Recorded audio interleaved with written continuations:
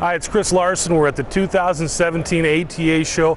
I'm in the Excalibur shooting booth and I got their new Matrix Bulldog 380. Now the Bulldog 400 was incredibly popular back in 2016 and what they did is they made a 380 version and what's cool about this is if you always wanted the 380 or you always wanted the Bulldog, they dropped the price, $9.99 so you can get a, yourself a Bulldog, can get yourself a 380 at under $1,000. That Matrix 380 they made four or five years ago, incredibly popular for us. That one's $10.99. So you're getting the same speed, but you're getting a lighter front end, a really nice crossbow.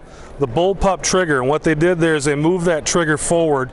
The other Matrix bows, the trigger's right below this box right here, so your hands are back further not as well balanced. This bullpup triggers move forward. This gets you a lot better balance in the bow. This is a super nice bow for a $1,000. Let's take a shot here so you can see what it's all about.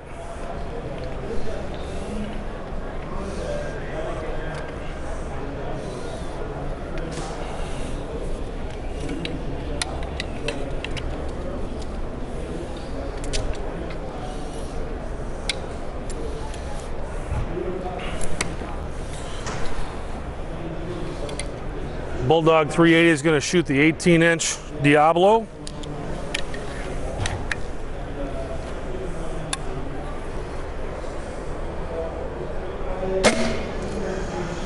So a lot of power, a lot of speed in this 380, just a better price than what you find in that Bulldog 400, but pretty much the same features.